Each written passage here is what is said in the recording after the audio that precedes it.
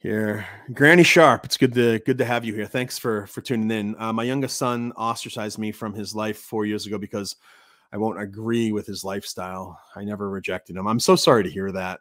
Um, that's hard. See, these these are realities that that we live in now. The rubber meets the road. It gets real, real quick, and um, uh, you know, you just keep praying uh, for him. Keep praying for. Uh, for him to know the truth. Keep praying for your relationship to be restored. Uh, always seek uh, to to get an inroad. You know, never turn your back. Be there. Let make sure that he knows, uh, however you can, if you're able, that you'll always be there. You'll always love him. Uh, no matter what his ideas are. So, so it, it, it's important to be able to have that conversation. We can't always. It sounds like you maybe weren't able to have this kind of conversation with him, where where you can explain. You can say, "Hey, I love you no matter what." I just disagree with what you're doing.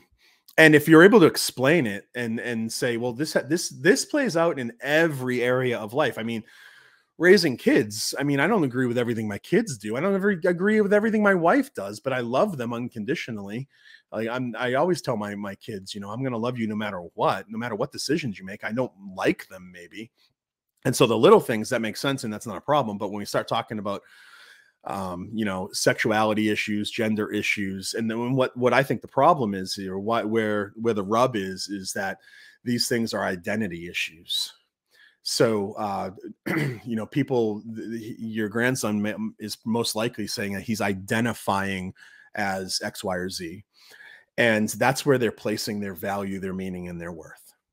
And so when they get confronted with, no, that's not true, it's not just the ideology that we're confronting there's it's deeper it's deeper than that because their very identity is tied to how they're identifying and and that can be hard. So anyways i'm sorry to hear that granny sharp.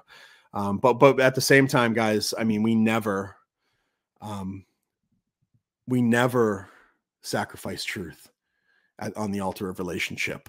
And i know you think like as you're watching this this is hard uh, this might be easy for me to say. Well, no, my worldview has cost me some some very dear, good relationships, um, and that's what we do.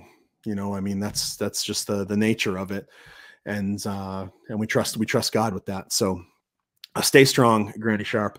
Uh, keep training uh, your grandkids as much as you can. Keep in touch with your children as much as you can, and try to sow into them. So.